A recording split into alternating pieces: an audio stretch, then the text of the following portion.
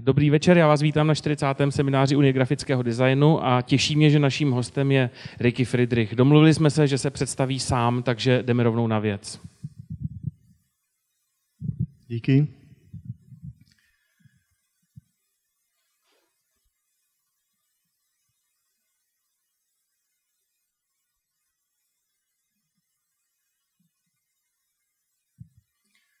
Tak, nazdar, volám sa Ricky Friedrich.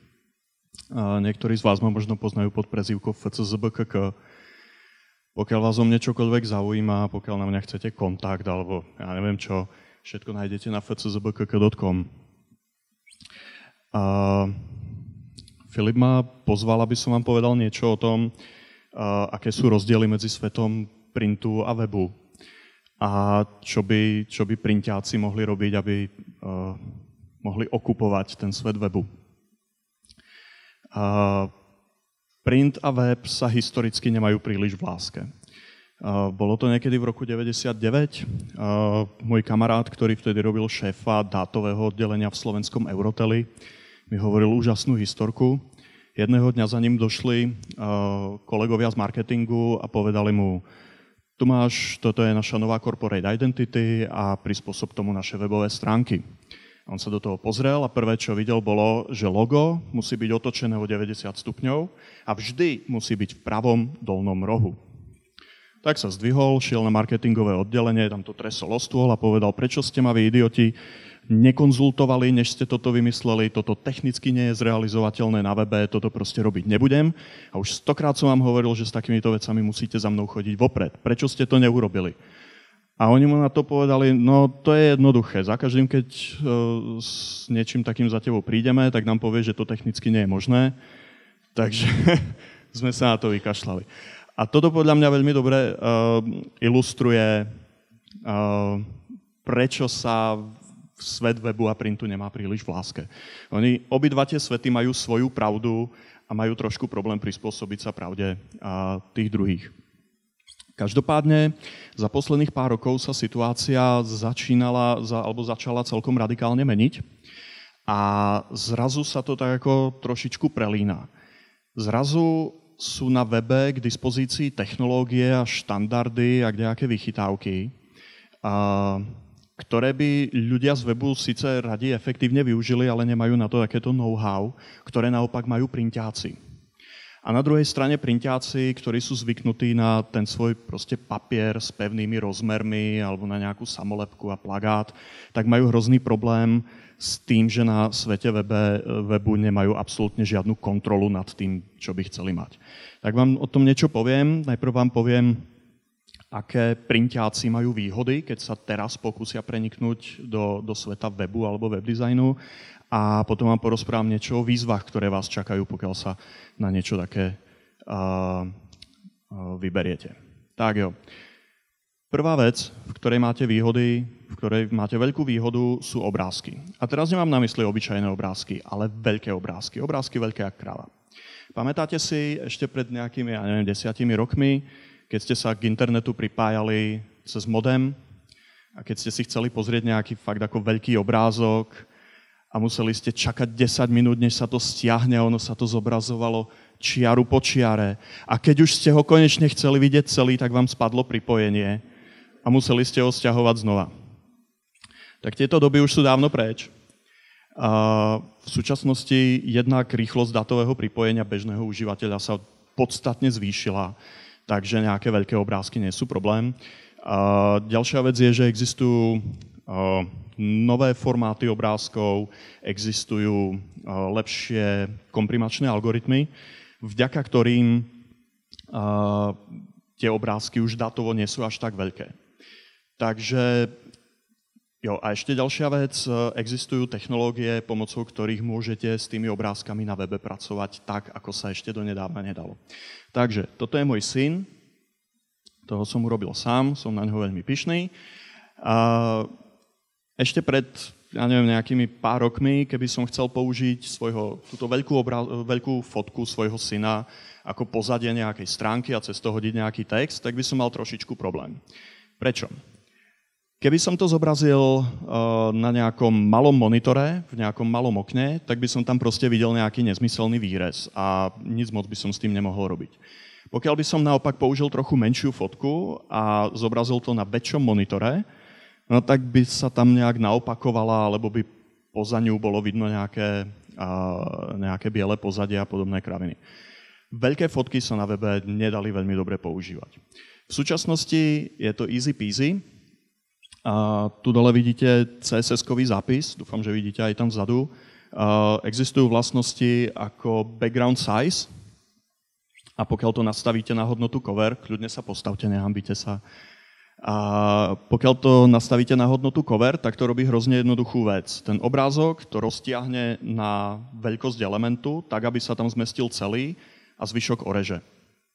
Takže v tomto prípade, pokiaľ by som to zobrazil na nejakom, ja neviem, širokouhlom monitore, tak to rozťahne ten obrázok na šírku, oreže vršok a spodok. Keby som to zobrazil na nejakom mobilnom zariadení, alebo keby si niekto otočil ten monitor na stojato, tak to proste vyreže tú strednú časť a e, zase vynechá strany. Toto ešte pred pár rokmi nebolo možné a v súčasnosti to možné je. E, čo ešte pomáha pri používaní tých veľkých obrázkov je, že kedysi, keď sa resajzoval obrázok, tak bol hrozne rozpixelizovaný, rozblurovaný, vyzeralo to otrasne. Zatiaľ, čo v súčasnosti uh, už tie algoritmy na akoby resizovanie obrázkov v browseroch sú fakt kvalitné. Takže je to technika, ktorá sa používa úplne bežne a vedie to k tomu, že každá druhá moderná stránka, na ktorú sa teraz pozriete, proste má na pozadí obrázok veľký ako krava, krásny, ostrý, s detailami a nech sa na to pozriete na ktoromkoľvek zariadení, tak sa to zobrazuje správne. Čo ako fakt ešte nedávno nebolo možné a vy ako printáci máte s prácou s veľkými obrázkami e, skúsenosti, viete, ak ich použiť kvalitne, viete, ak ich zakomponovať. Takže v tomto máte oproti klasickým webárom e, konkurenčnú výhodu. OK. Ďalšia vec. Stĺpcová sadzba. E, pokiaľ ste prinťáci, tak to určite poznáte. V novinách proste si naťaháte tie stĺpce, ten text vám krásne preteká, obrázky obtekajú a podobne. Pred asi desiatimi rokmi, ehm, keď chlapci z 13 Parallel robili redesign International Herald Tribute, tak tam mali úplne revolučnú feature, že mali texty zalomené do stĺpcov.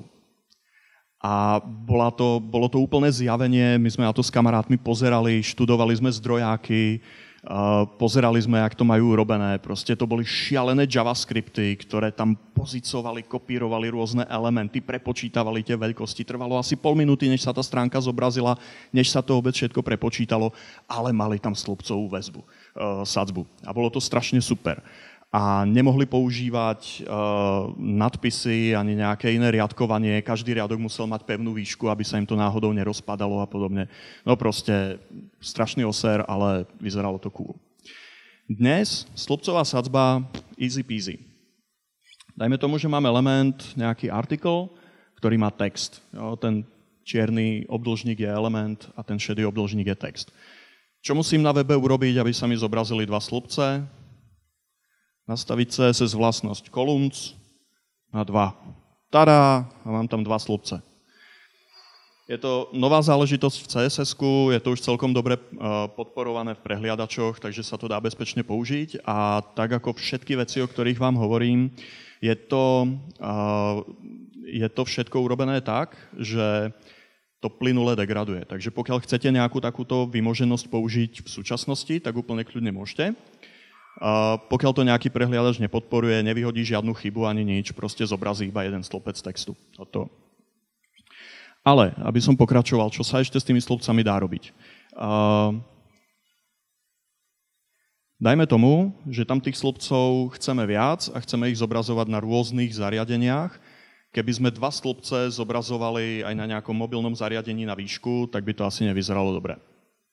Boli by tam nahňácané jeden slopec by mal šírku asi tak 4 písmenka, čo by nebolo dobre. Takže namiesto počtu slupcov môžete povedať, aké široké tie slupce majú byť. V tomto prípade dajme tomu 15M. Oni sa nám krásne takto rozsekajú.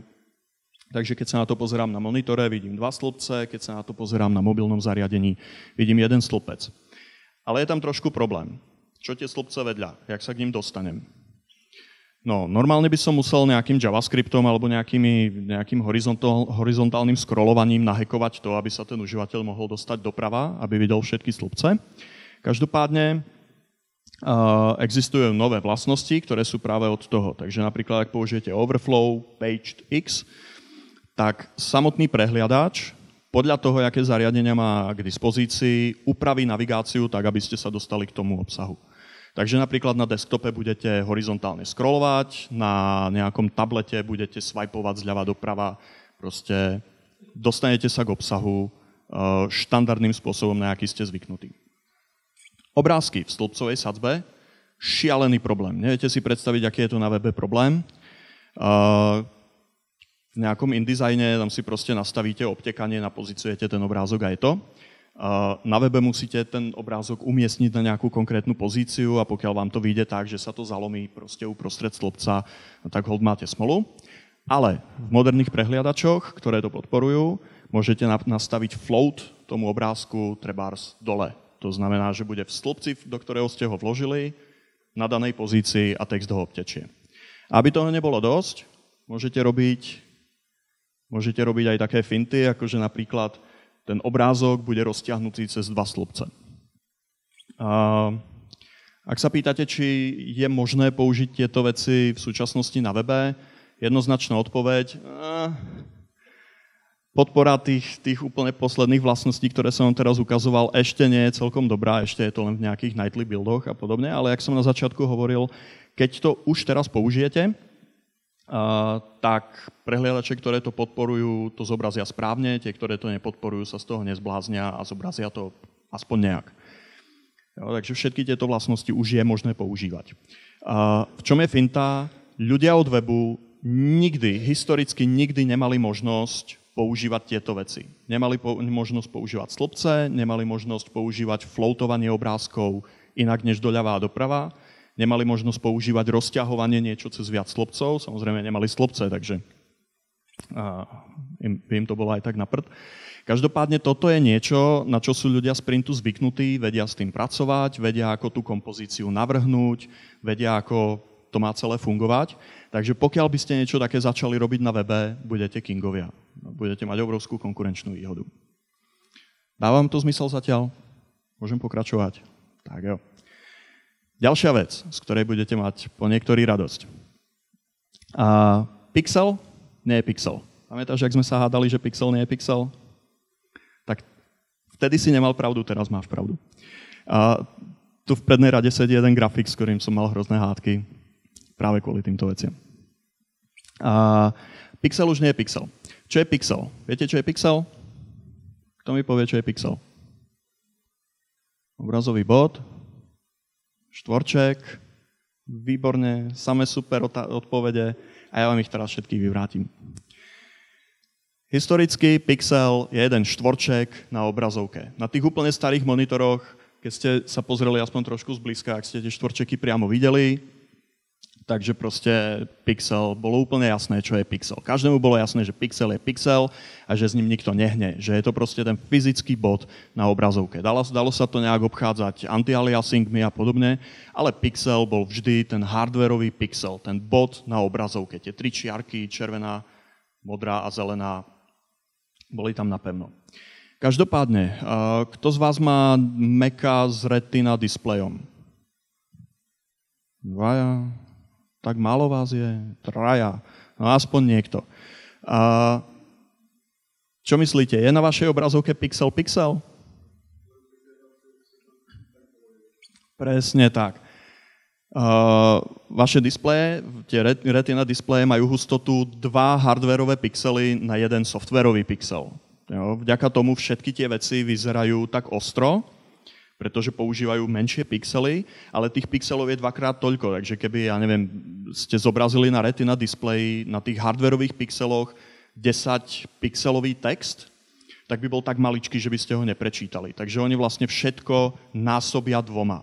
Jo? Všetky tie ako softwareové pixely násobia dvoma, aby to sedelo na tie hardwareové pixely. A aby toho nebolo dosť, uh, kto z vás má nejaký iPhone 3, myslím ešte 4, určite vás je viac. No, výborne. Uh, tak vy máte, jed, jeden váš hardwareový pixel je, alebo jeden váš softwarový pixel je 1,3 hardwareového pixelu. Jo, tam sú tie pixely hustejšie, ale nie až také husté, husté ako na retina displeji. Takže proste keď uh, niečo je jedenkrát jeden pixel veľké, tak vám to prečuhuje. A na tie ďalšie typy obrazoviek už sa vás radšej ani nebudem pýtať, pravdepodobne nemáte obrazovku s uh, hexagonálnymi pixelmi, ale existujú. Jo. Pixely už nemusia byť iba štvorčeky, jak ste tam na začiatku hovorili, môžu mať rôzne tvary. Toto, je, uh, toto sú veľmi priblížené uh, body na obrazovke. Všimnite si, že existujú diagonálne pixely, tam sú tie klasické štvorčekové, tu sú interpolované, to znamená, každý druhý je posunutý vyššie a nižšie a tam sú tie hexagonálne. Je to práve kvôli tomu, aby ten obraz bol čo najostrejší, najjasnejší, tie pixely sa rôzne posúvajú, aby tie antialiasingy fungovali a zároveň sa zhustujú práve vďaka tým retina displejom a podobne.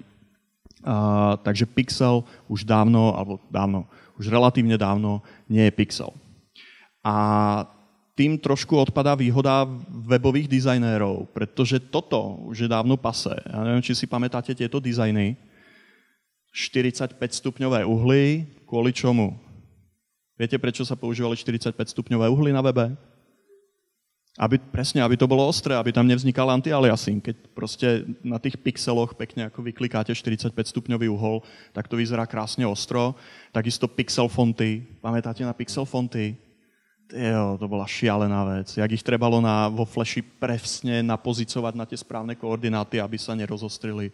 To boli časy. Tak toto už je totálne pasé a v súčasnej dobe už absolútne nemá zmysel nejak ako sa hrať na pixely.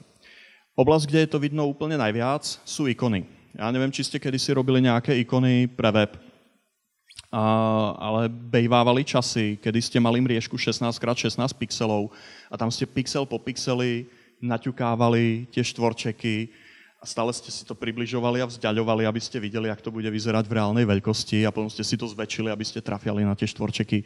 No bola to príčerná práca a fakt ako tá ikonka bola 16x16. V súčasnosti vďaka veľkým displejom, vďaka datovým možnostiam a podobne sa už ikony nerobia v pixeloch a nerobia sa v 16x16 pixelov, ale kreslia sa vo vektoroch a obvykle vo veľkosti 512x512 pixelov.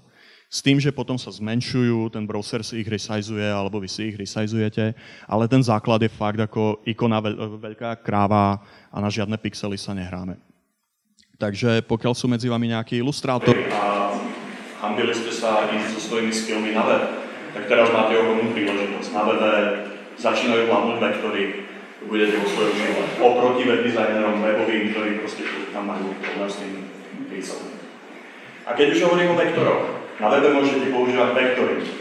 Hurá! Ja som sa nemohol dočkať, kedy na webe bude možné normálne používať vektory. S formátom SVG som sa hral, Mario, už asi pred 15 rokmi, vtedy si na to trebalo nainštalovať nejaké špeciálne rozšírenie, nejaký špeciálny plugin a tá podpora bola úplne hrozivá. A pokiaľ niekto chcel robiť vektory, tak to musel robiť vo Flashi. Pamätáte na Flash? Tie štierače všetci po... Lebo ja, ja som to nikdy nemal. Každopádne v súčasnosti vektory môžete kľudne použiť na webovej stránke a to práve vďaka SVG. SVG je XML formát, veľmi podobný ako HTML, akurát nepopi- nepopisuje nejaké semantické elementy na stránke. Čili SVG.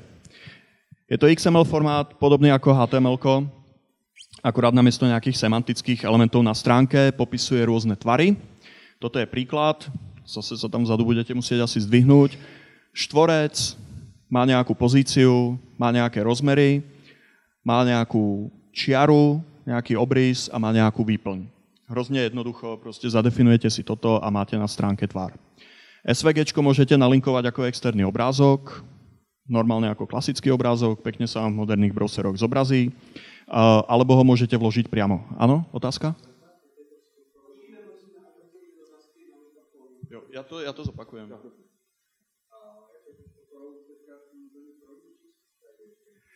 Úplne vynikajúco.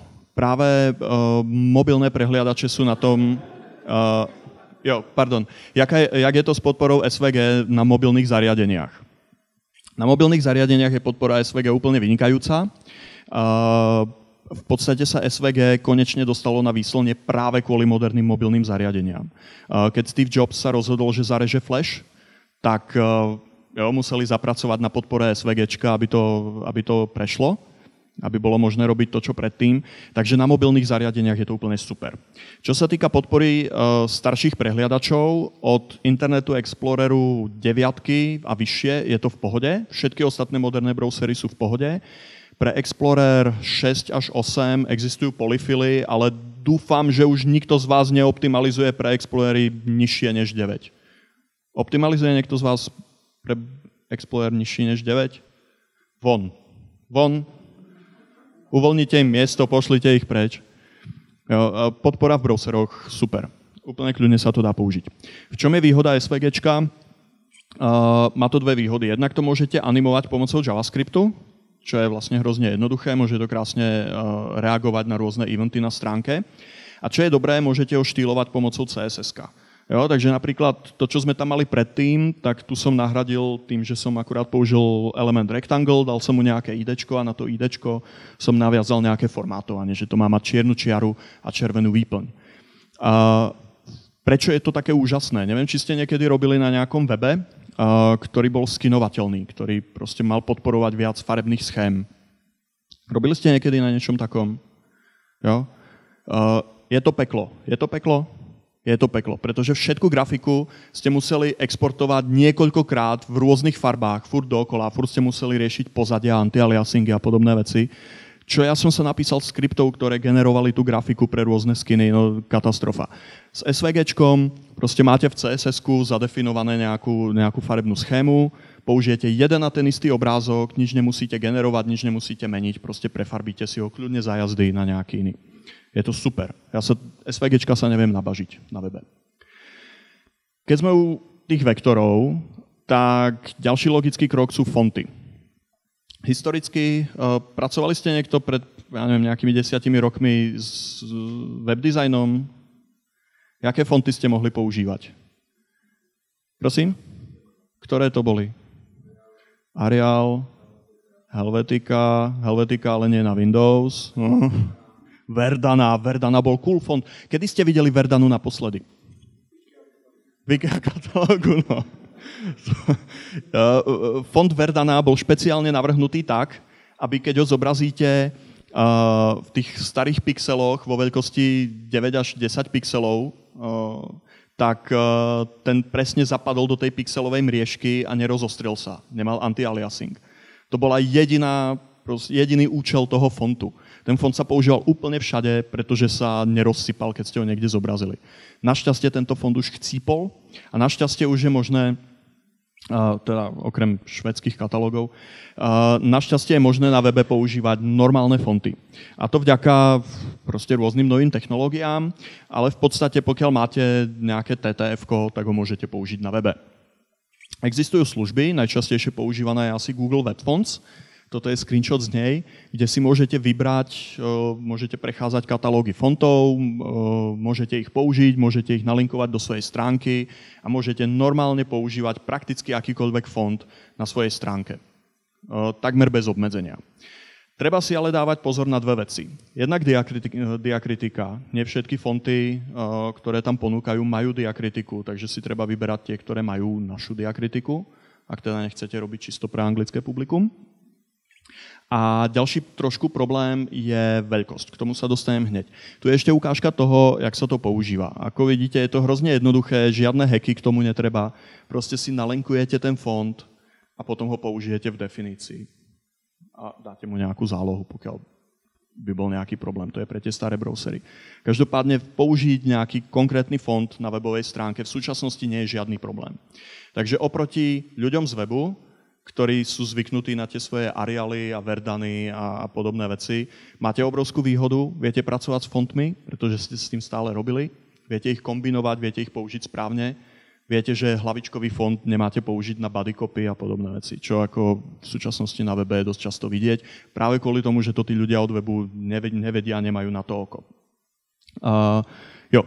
Druhá vec, na ktorú si pri používaní webových fontov musíte dávať pozor, je dátová veľkosť. Ja neviem, či to uvidíte dobre, je to trošičku malé, ale uh, mám tu zaškrtnutý, zaš, zaškrtnutý iba normálny res, proste normálnu šírku písma a iba štandardné znaky. A veľkosť toho uh, balíčku s fontom, ktorý sa na, do stránky musí natiahnuť, je nejakých 15 kg, čo je easy peasy, to je v pohode. Jo, to tam kľudne môžete dať. Každopádne, ak by ste chceli viac rezov, dajme tomu bold, a ak by ste chceli aj naše znaky s diakritikou, tá diakritika to je hrozné nešťastie, tak vám zrazu stupne veľkosť toho balíčku s fontom na nejakých 90 kg. Čo už je no, ešte stále relatívne v pohode, ale už si na to treba dávať pozor. Pokiaľ by ste takto nalinkovali, ja neviem, 5 fontov na stránku, čo dúfam nikdy neurobíte, tak uh, už, by, už by to bol datovo trošku problém. No, takže fonty môžete používať celkom voľne. Jediné, na čo si musíte dávať pozor, je diakritika a datová veľkosť. A čo sa stane, keď spojíme vektory a fonty? Vzniknú fontové ikony. Čo je ďalšia super vec, ktorá sa teraz na webe dosť intenzívne používa. A toto je ukážka z projektu Font Awesome. Viete, ak fungujú e, ikonové fonty? Presne tak. Je to, je to proste font, ktorý namiesto písmen má rôzne symboly. Tie symboly tým, že je to vo fonte, sú vektorové a tým pádom vlastne ako, ja neviem, keď napíšete X, tak vám to tam vloží foťák. A je to niečo podobné ako Windings, kedysi pod Windows a podobne. To sa síce nikdy nepoužívalo, teraz sa to používa, pretože vďaka tomu, že sa dajú používať custom fonty, tak si vlastne môžete vytvoriť sadu ikon svoju vlastnú, ktorú pomocou tých fontov môžete zobraziť na stránke. Výhoda napríklad tohto postupu je, že vám to bude fungovať aj v nejakých starých Exploreroch. Aj v tých, ktoré nepodporujú SVG. Skôr dostanete vektorový font do starého Exploreru než SVG. Takže toto je jedna z technik, ktoré sa, ktorá sa používa. A toto je ukážka toho, že vlastne jeden znak, jeden symbol z tej fontovej sady, je to konkrétne foťák, Eh, jednoducho zmenou veľkosti písma môžete resizovať na ľubovoľnú veľkosť. Eh, tým, že sa to riadi veľkosťou písma, tak vám tie ikony krásne budú zapadať do textu. nebudete musieť ladiť špeciálne veľkosť ikon, aby vám to neplávalo hore-dole. Veľkosť ikon bude rovnaká ako veľkosť textu. A môžete používať finty ako kompozitné ikony. Eh, toto konkrétne ikona poskladaná z dvoch vrstiev, v jednej je, v tej spodnej je symbol foťáku v normálnej veľkosti a tá horná je ten symbol s preškrtnutým kolečkom dvojnásobnej veľkosti a vznikla z toho dvojfarebná kombinovaná ikona. Dajú sa s tým robiť ohromné kúzla a to použitie je strašne jednoduché. Existuje spústa projektov, ktoré poskytujú tie webové ikony zdarma. Uh, toto je font Awesome, myslím, tam je nejakých 470 ikon, fakt ako hrozné množstvo, nájdete tam úplne všetko. Uh, veľmi pekné sú ikony, hlavne do nejakých webových aplikácií od GitHubu. Všetky tie veci sú skvele popísané, ak si to vygooglite, budete z toho nadšení. Tak jo. Uh, zatiaľ som vám hovoril iba o veciach, v ktorých vy ako printáci alebo ľudia, ktorí majú skúsenosti s printom, majú výhodu oproti ľuďom, ktorí majú skúsenosti iba s webom. Ale teraz sa karta obráti a poviem vám o veciach, na ktoré si musíte dávať fakt pozor, ktoré budete musieť doštudovať, ktorých sa budete musieť vzdať, ak sa budete pokúšať o webový dizajn. Prvé z nich je, že nemáte absolútne žiadnu kontrolu nad rozlíšením, nad veľkosťou obrazovky, na ktorej sa bude zobrazovať to, čo chcete zobraziť. Keď ste zvyknutí na to, že proste máte plagát danej veľkosti alebo samolepku danej veľkosti a vyladíte si to presne na to a nejak inak to nebude, na webe máte smolu.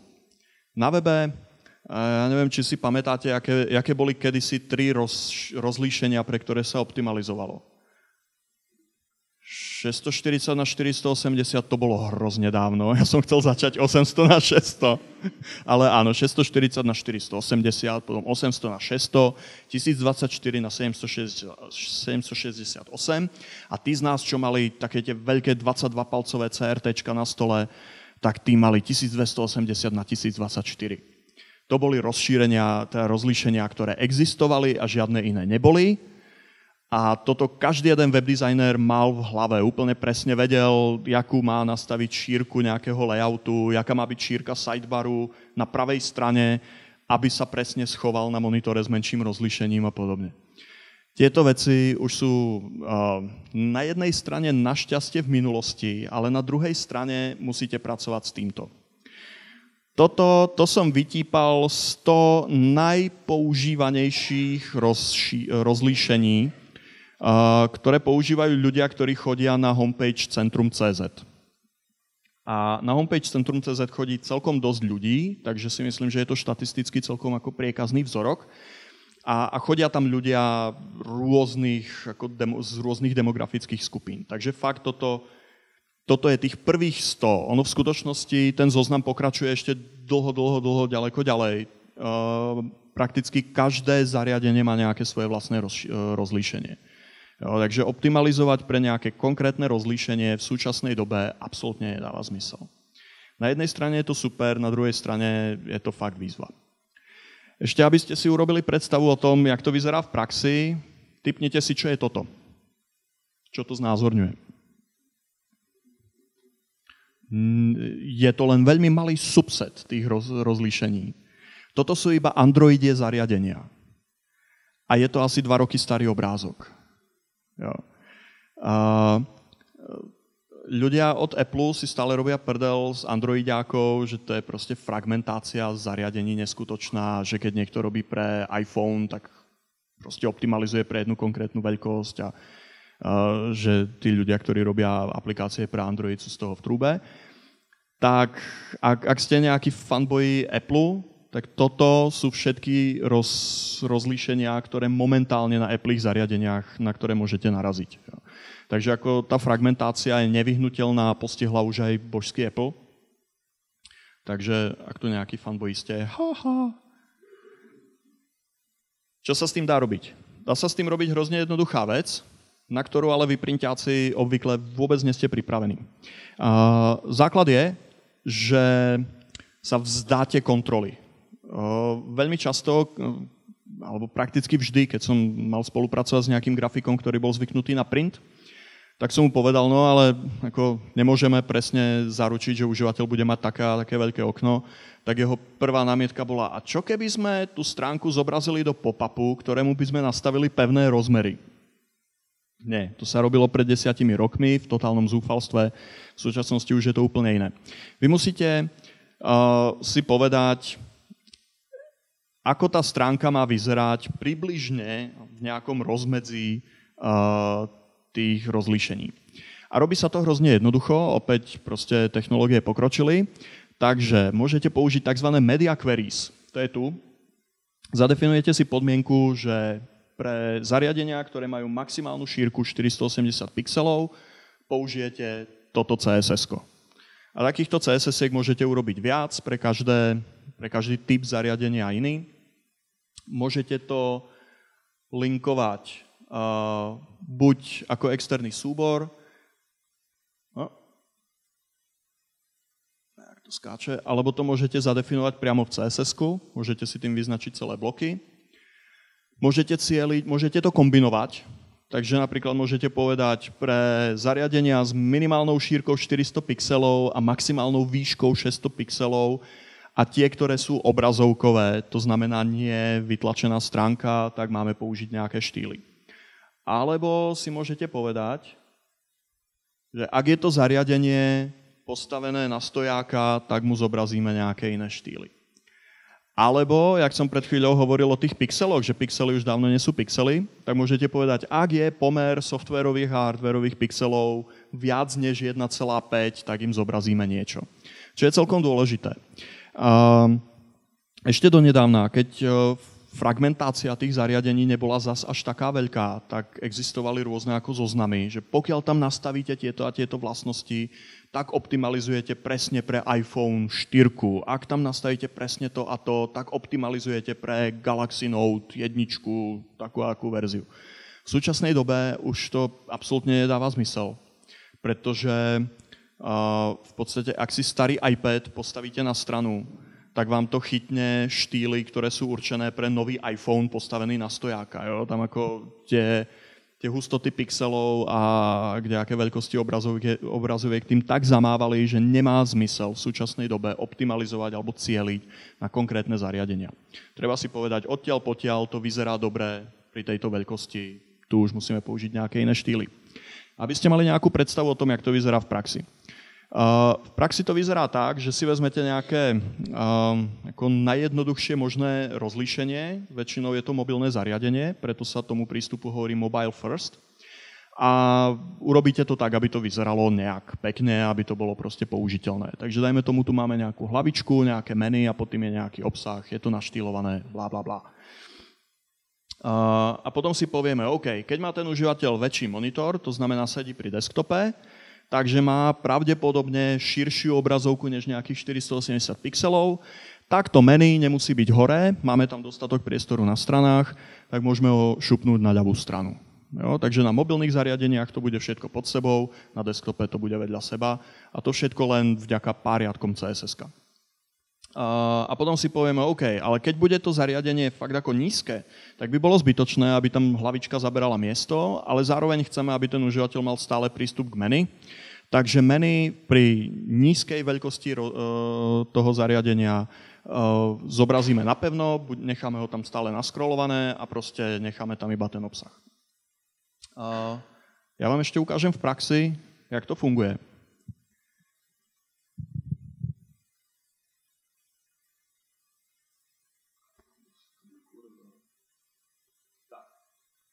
Toto je stránka, je roztiahnutá normálne na celú šírku. A ja ju teraz skúsim trošičku zmenšiť.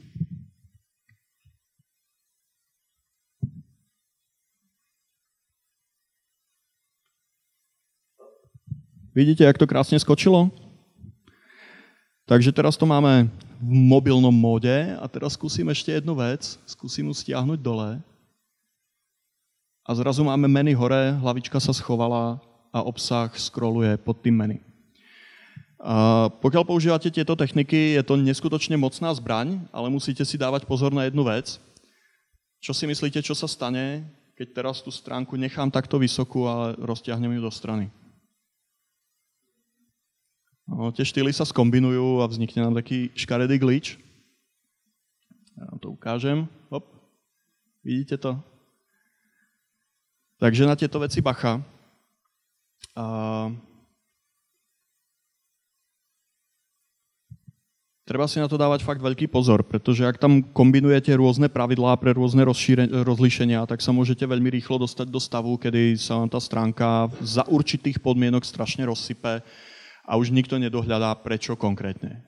Je to, je to celkom citlivá záležitosť. To sa vám na plagáte nemôže stať. A ďalšia veľká výzva je, jak niečo také testovať. Máte niekoľko možností. Toto je prvá z nich, že si zoženete všetky tie zariadenia, čo podľa mňa nie je úplne realistické. Toto, čo tu vidíte, je možno tak stotina všetkých možných zariadení, na ktorých to môžete testovať. Keď bol pred dvoma rokmi Peter Paul Koch v Prahe, tak nám ukazoval fotku, pretože on proste má fakt ako fyzicky strašnú spústu hardveru, na ktorom všetko možné testuje tak nám ukazoval, že má v kancelárii takú obrovskú plechovú skriňu a tu keď otvorí, tak tam sú nasádzané vedľa seba všetky proste tie telefóny, tablety, noťasy, kdejaké chromebooky a všetko možné, Kindly. A my sme pozerali na tú skriňu a hovorili sme si, že Mária, tam, tam sú stovky zariadení. A on, no, a ja mám v práci takých skriň sedem. Jo, takže, takže pravdepodobnosť, že by ste e, otestovali fyzicky tú svoju stránku na všetkých možných zariadeniach je prakticky nulová, pokiaľ nie ste Peter Paul Koch, aj v tom prípade to, o tom pochybujem. Takže druhá najlepšia možnosť je e, použiť nejakú službu, ktorá vám to zjednoduší. Toto konkrétne je Browser Stack, s tým mám celkom dobré skúsenosti. Je to webová služba, ktorej pošlete stránku a ona vám ju zobrazí Eh, normálne v prehliadači v rôznych veľkostiach. Alebo si môžete vyžiadať, že vám pošle screenshoty toho, jak to vyzerá, môžete si vybrať v ktorých zariadeniach a podobne. Eh, dokonca môžete oproti tomu posielať automatické testy a oni to tam všetko proste pozobrazujú na tých zariadeniach, na screenshotujú, pošlú vám to späť. Je to veľmi, veľmi užitočné, veľmi šikovné. Obvykle netestujete alebo neprechádzate úplne všetky tie zariadenia, vyberiete si nejaké typické, na ktoré chcete väčšinou cieliť, alebo ktoré reprezentujú nejaké ako uh, najbežnejšie zariadenia a ak, ak to funguje v nejakých extrémoch, tak to bude fungovať aj uh, bežne. Každopádne do budúcnosti nás čakajú fakt zaujímavé časy. Ja neviem, či to vidíte, toto je nejaký nový pripravovaný telefón od Samsungu. A neviem, či je to tam aj vzadu vidno. Tá pravá strana displeja nie je rovná. Ono to sú prakticky dva displeje naviazané na seba a ten jeden je takto zaoblený, zakrivený. No, takže ten displej nemá pravidelný tvar. A teraz, ak Apple uviedol tie svoje úžasné hodinky, tak Motorola už dávno pred ním uviedla e, trošku lepšie hodinky, Moto 360 a tie majú kruhový displej. No, takže už fakt ako vidím, že o nejaký rok, dva pribudnú v tých podmienkách, jak som ukazoval predtým, e, v tých media queries, niečo ako display shape, hexagon alebo niečo také. To bude fakt bordel. Jo. S tým sa budeme musieť popasovať úplne všetci. Ak ľudia z webu, tak ľudia z printu. A teda ak nebudete robiť hexagonálne samolepky alebo niečo také. Tak jo. Uh, ďalšia, ďalšia vec, s ktorou, v ktorej ľudia z webu uh, majú náskok oproti ľuďom z printu, sú animácie. Pokiaľ nerobíte také tie flipbooky, ktoré keď prejdete, tak vám to niečo zanimuje, tak s animáciami veľmi nemáte skúsenosti. Zatiaľ, čo ľudia z webu s nimi skúsenosti majú historicky. A v súčasnej dobe je hrozne jednoduché tie animácie používať. Kedy si totižto, pokiaľ ste chceli na stránke niečo animovať, tak ste mali dve možnosti. Buď Flash, ale ten už chcípol, jak sme si povedali, našťastie, alebo ste použili JavaScript, väčšinou nejaký framework, nejaké jQuery alebo niečo také. Takže pokiaľ ste chceli, aby vám nejaký element, ja neviem, zablikal, poskočil alebo čokoľvek, tak ste použili JavaScript a tým pádom uh, to nerobil designer, ale robil to nejaký kóder alebo programátor a dizajneri od toho dávali ruky preč. V súčasnej dobe uh, sa veľmi pekne rozbehli CSS animácie. To znamená, že sa, to, že sa animácie na webe späť dostávajú do domény dizajnérov. Už sa to očakáva od dizajnérov. A to hlavne kvôli tomu, že je hrozne jednoduché tie animácie dosiahnuť. Toto je definícia, že sa na to musím pozrieť, jo, toto je definícia uh, nekonečnej rotácie elementu. Ja vám to ukážem v praxi. Mám pripravenú ukážku.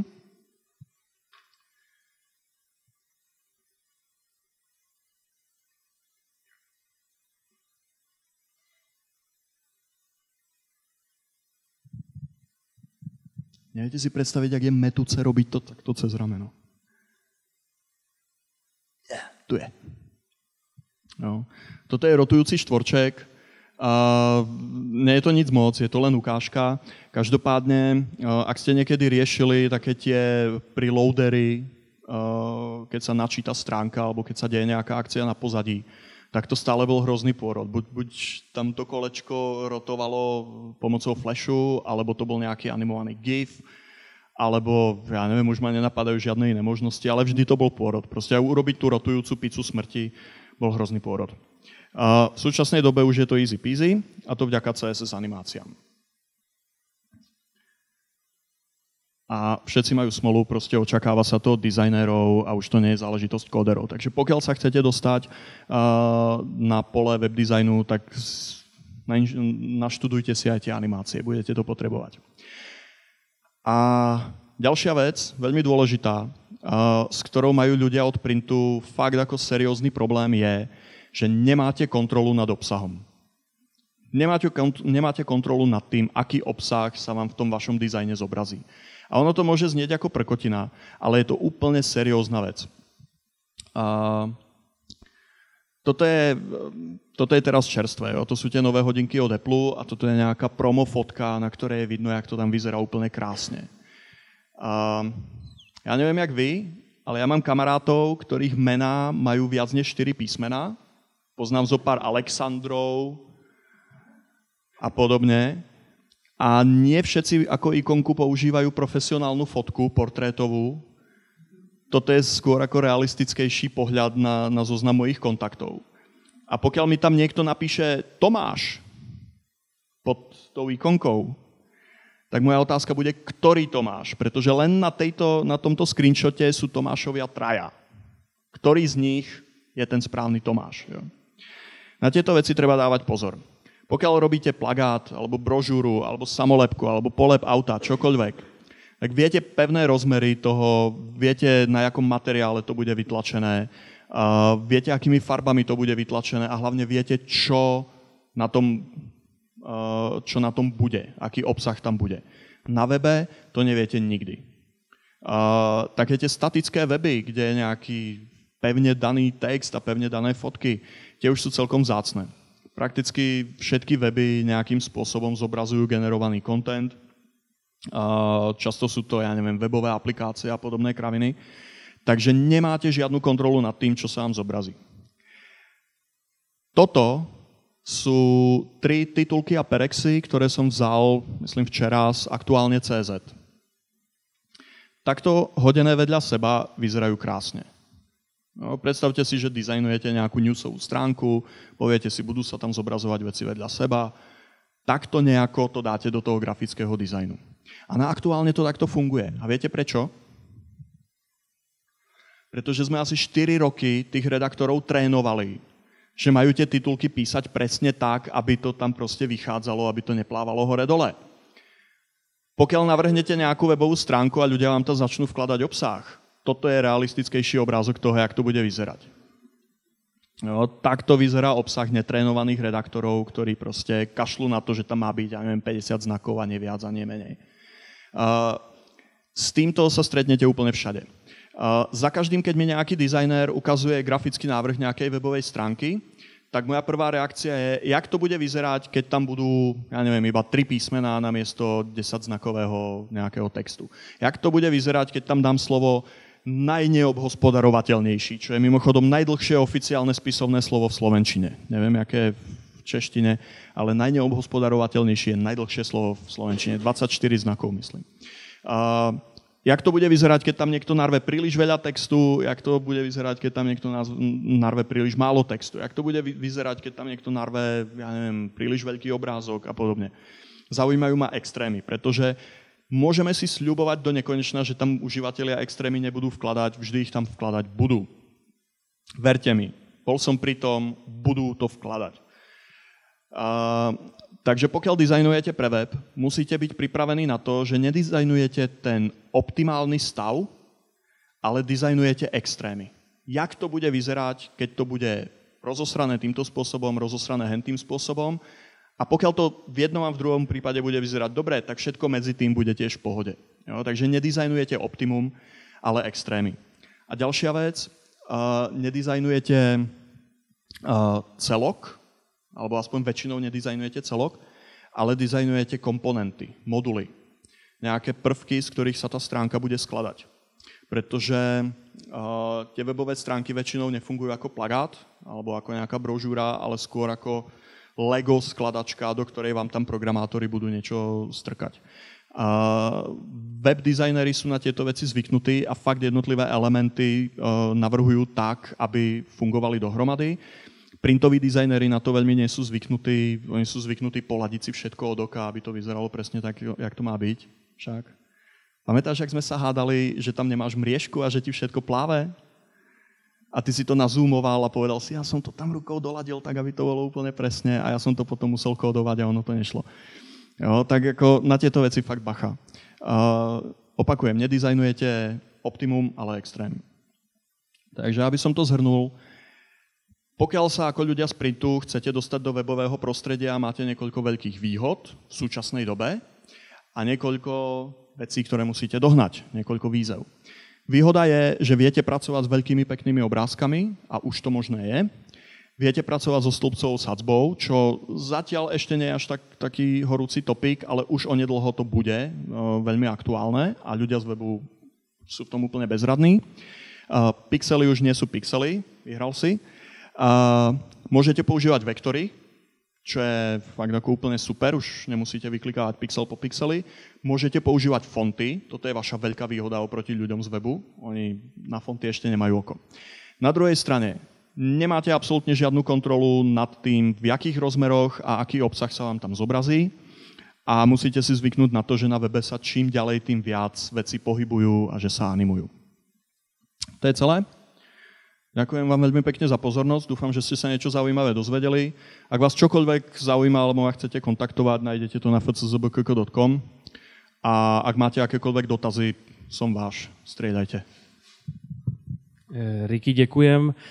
Můžu vás poprosit, než, eh, než začnou otázky a odpovědi, eh, jestli by někdo otevřel okno a pustil jsem trochu čerstvého vzduchu? Ano, můžete.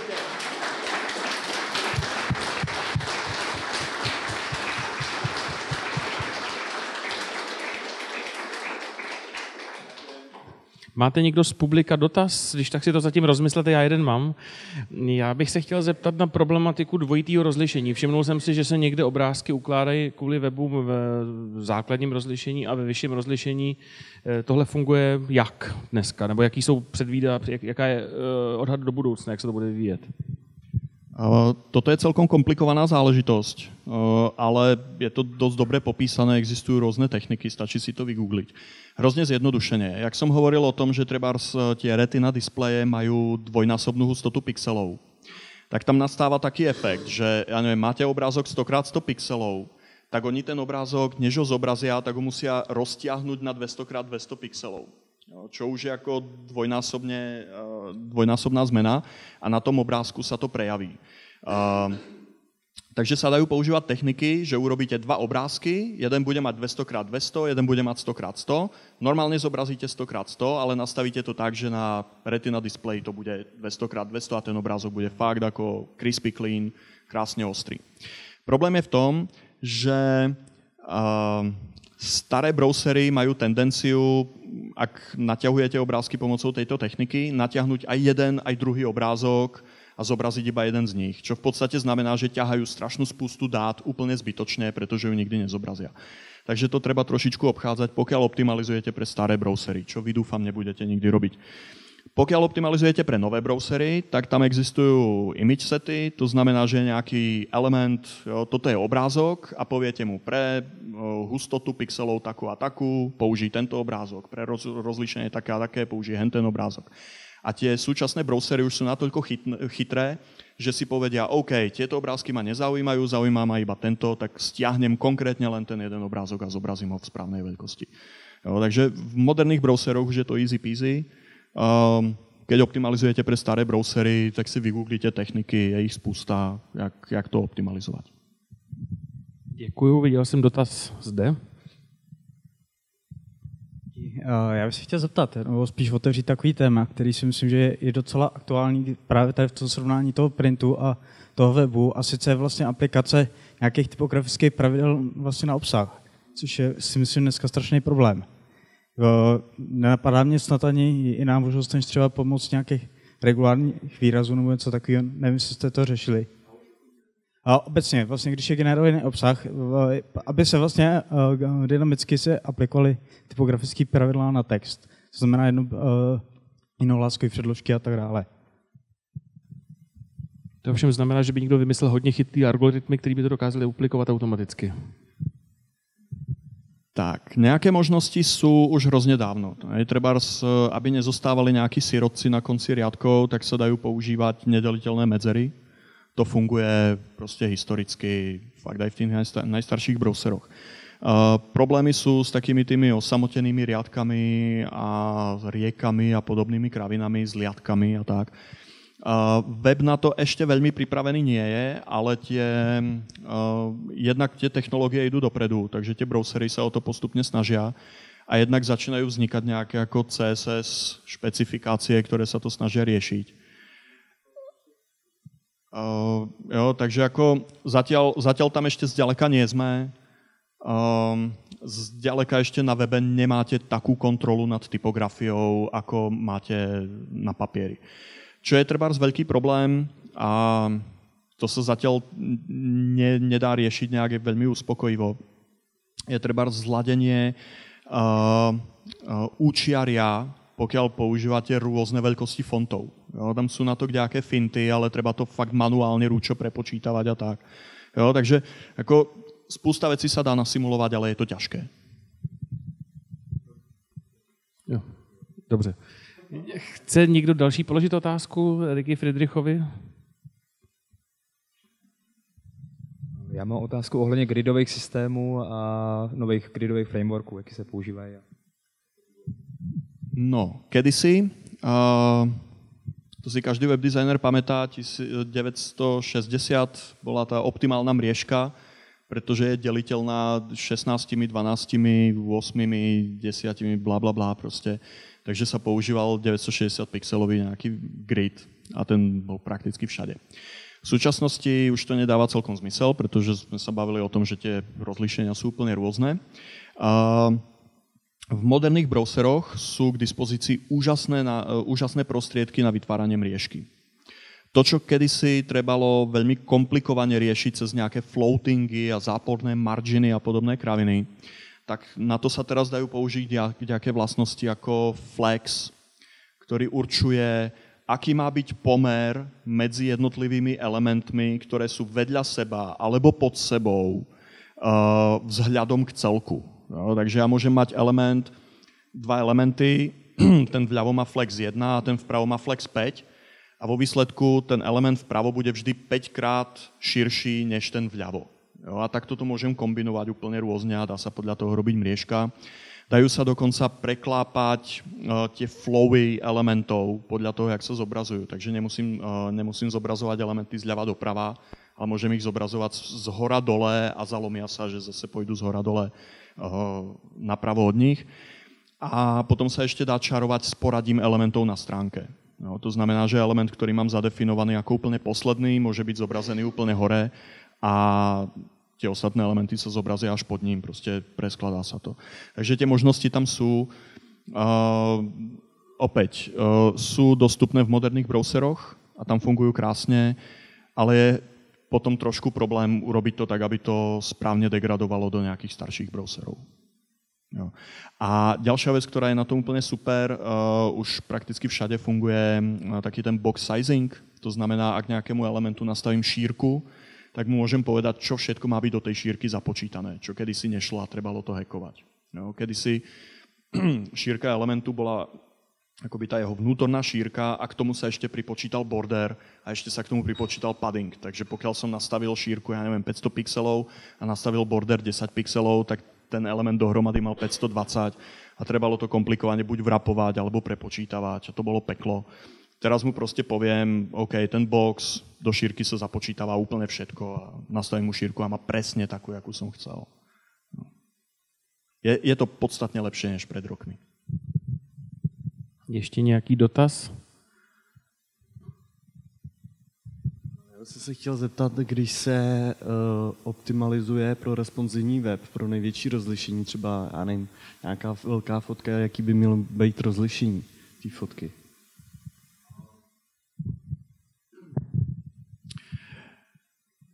Keď hovoríme o veľkom rozlišení alebo o tých najväčších displejoch, tak čisto teoreticky môžu mať rozlíšenie úplne šialené. Každopádne, a to platí už dosť dávno, eh, robili sa na to celkom seriózne prieskumy, eh, v určitej hranici, pokiaľ má niekto fakt veľký monitor, tak ne, prestane používať okná maximalizované. A hlavne to platí pre browser. Takže už pred dávnymi rokmi nejaká maximálna šírka okna bola niečo cez 1000 pixelov. Pokiaľ je tá stránka väčšia než 1000 pixelov, už sa to blbo číta a už nemá celkom zmysel, aby to bolo zobrazené ako na full screen. Takže pokiaľ by som chcel používať nejaké fakt veľké fotky, tak na nejakých 1000, ja neviem, 200 pixeloch by som sa zasekol, kľudne na nejakých 1000 pixeloch na šírku. Ono, keď sa tá fotka trošku rozťahne, tak to nevyzerá až tak zle. Uh, čisto teoreticky, aj keby sme sa bavili o nejakých fakt ako displejoch jak kráva, tak uh, tam zase, oni sú síce fyzicky veľké, ale tých pixelov zas až tak veľa nemajú. Ja, treba som kde si videl špecifikácie takých tých obrých obrazoviek, ktoré sú na Times Square. Viete, ktoré mám na mysli? Také šialene veľké displeje cez komplet celý barák. tak uh, oni majú niekde dole rozlíšenie asi 600 diodok na šírku a čím vyššie, tým sú tie body uh, redšie, aby zbytočne spotrebovali príliš veľa energie a výkonu. Takže úplne hore, tam, kde ľudia už to nedokážu rozlíšiť, tak tam to má asi 300 pixelov na šírku. Jo, takže aj keby som robil niečo pre Times Square, tak tá fotka nemusí byť extrémne veľká. Takže třeba, já nevím, 24 monitor, když je a bude se na full screenu zobrazovat ten web, takže by se měla šířka třeba dělat na 1280 s tím, že se to zvětší na těch 1920. Takto, pokiaľ, um, jak by som to povedal, pokiaľ je na tej stránke nejaký text a má byť čitateľný, tak pokiaľ je širší než nejakých 800 pixelov, tak jeho čitateľnosť už je blbá. Jo, takže ako, samozrejme dá sa to urobiť, ale v tom prípade už ideme proti nejakým zásadám použiteľnosti. Už Jacob Nielsen na nás bude kričať.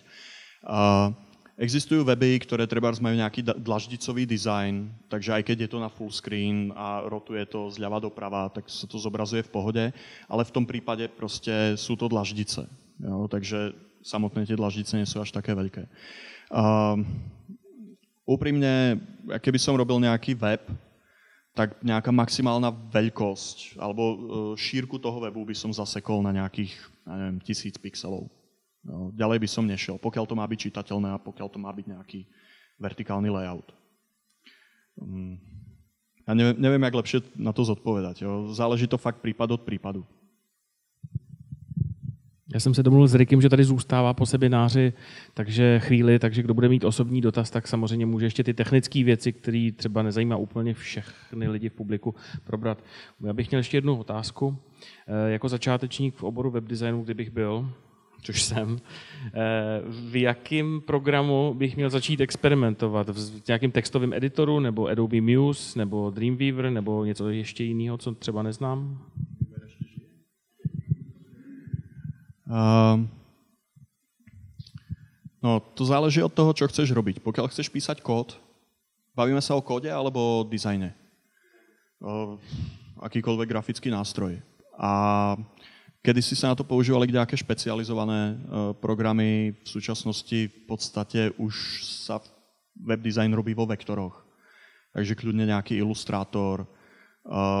Ja, treba, ja nie som grafik, Uh, takže nepotrebujem žiadne komplikované veci a ja na grafiku používam Sketch, čo je taký ako trošku nástupca uh, Fireworksov.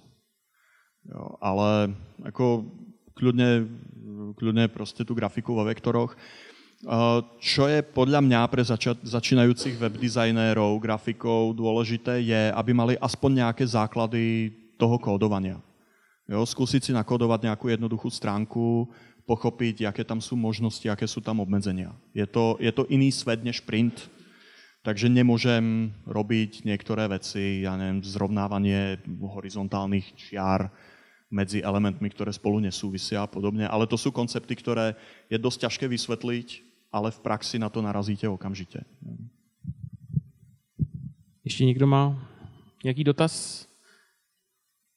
V tom případě vám děkuji za to, že jste přijal účast na našem semináři a díky za vaše zajímavé postřehy k webu a tvorbě webu a srovnání světa tisku a webového designu. Děkujeme.